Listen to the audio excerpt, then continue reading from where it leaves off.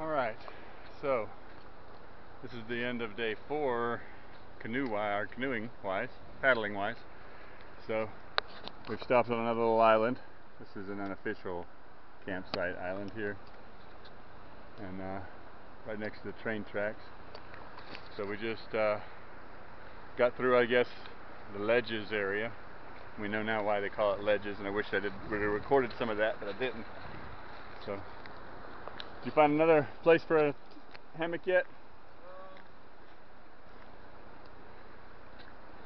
go here,